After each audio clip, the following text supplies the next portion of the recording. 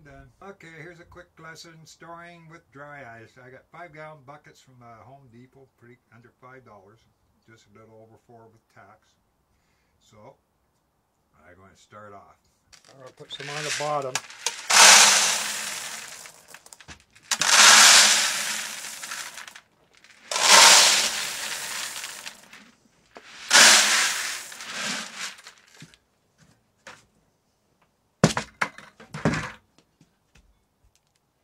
All right, I got this mug glove and here's some dry ice. Got way more than I need, I believe, but that's so if I something happens and I don't get done in time. There's 10 pounds. I don't need that much. About quarter of a pound per bucket would be just suffice. So I'm going to put back. And I put in here. I'm going to have to kind of estimate.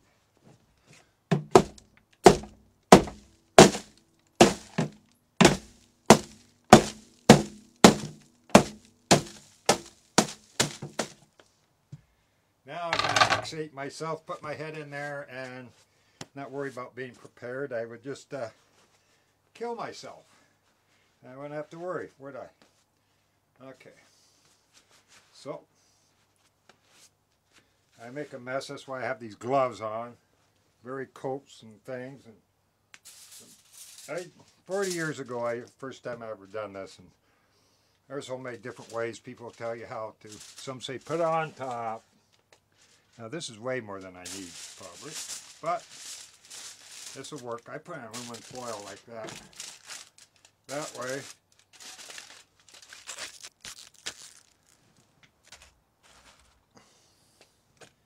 there. And then I'm just going to put another little piece over that.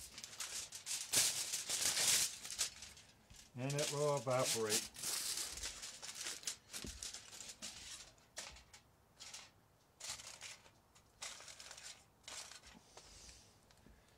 Care if a little few beans touch it or anything. I don't think it really matters. They say use paper. Okay, then we fill up the bean pot.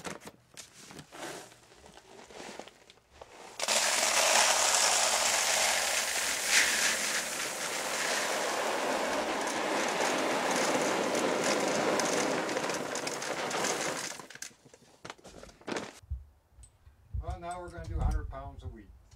I only got 100 pounds just for show because it's cheaper to go to the ring and the amount I want.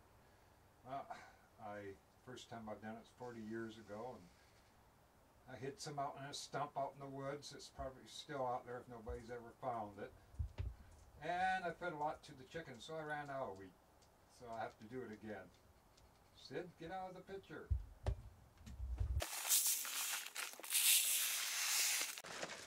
I know the bag gets in the way of your view. I hope you don't mind.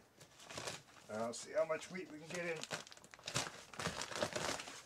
two of these. If I can get it all, or am I going to have to? Ah.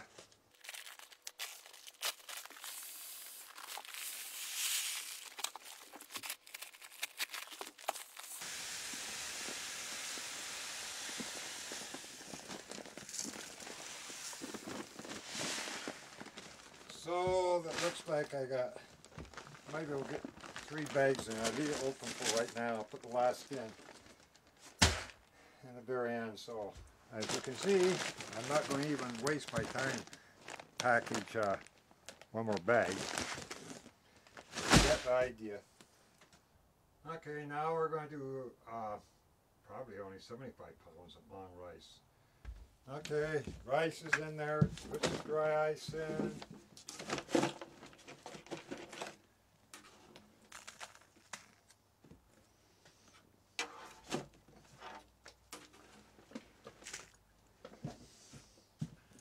And then we fill them up.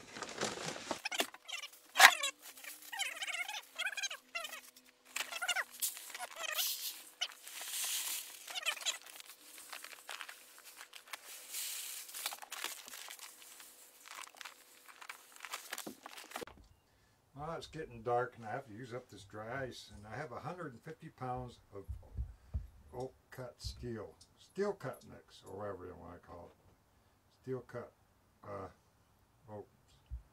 Some of the best oatmeal you can make is all of that stuff.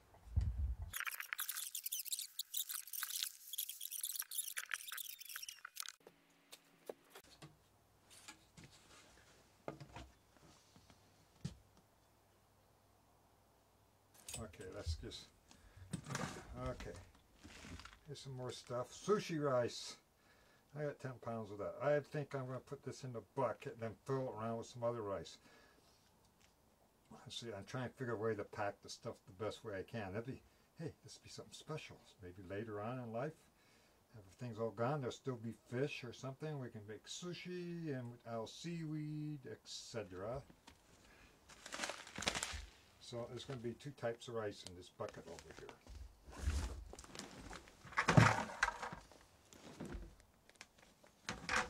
That one.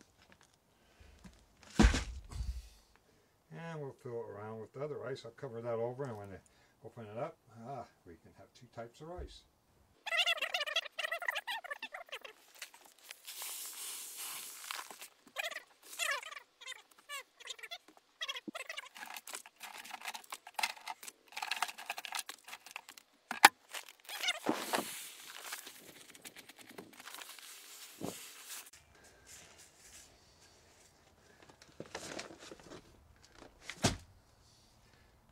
So that should do it. I'll put a little bit more dry ice in each one of these buckets. I got enough.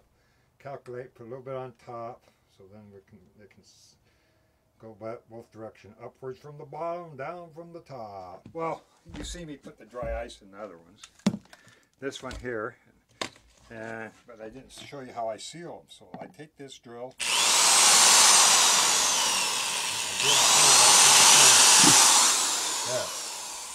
When I, I put this on before I put the, after I put the dry ice on, I want to seal, and I'll put it down, I'll show you here.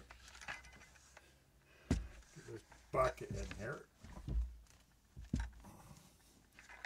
Kind of like that, then I'll put the seal on, knock it down, and then I'll shove down, but first, I'm going to do, put a sealant in here.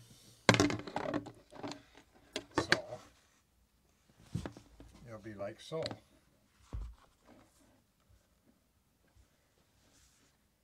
Get the lid down. Pound it down good. Not too hard, you don't want to break any. It helps to get that lid down by giving a little taps. At least I think it does. Maybe I'm wrong, but do what you want to do that seems the best way for you. There. And that- So you're going to put the tops on. That sit all night long so all the carbon dioxide comes out. Then I take some really heavy duty stuff, kind of like this stuff. It's a little thicker. And I'll put a little bit right here on the side of this hole. And I'm going to fill it in with this stuff. I get enough there. That's set dry a little bit so it's a little more punky. I mean, a little thicker.